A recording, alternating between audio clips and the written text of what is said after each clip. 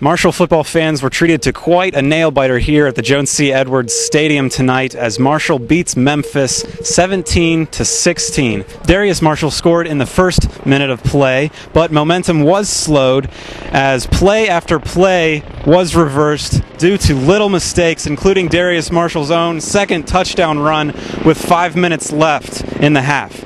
Turns out that he did step out of bounds. Needless to say, Herd fans were a little bit upset.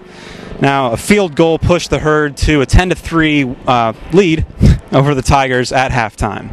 The Tigers' Arkelon Hall threw a great game, including a third quarter pass to Maurice Jones, who dropped the sure touchdown. An 18 yard touchdown pass to Darius Passmore left fans on edge as the refs insisted on taking a second look, but they did eventually confirm the touchdown, as Passmore did have one foot in bounds.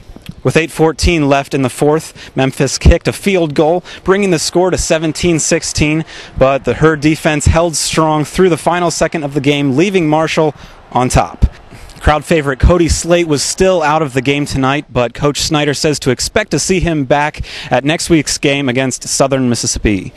Coach Snyder had this to say about the team's win tonight against Memphis played a very good Memphis team. We played very, very hard and gave us their best shot. They gave us everything they had, and uh, I'm proud of our guys. You know, I um, unlike last week, I think we uh, handled the adversity a lot better. Last week we didn't handle adversity very well.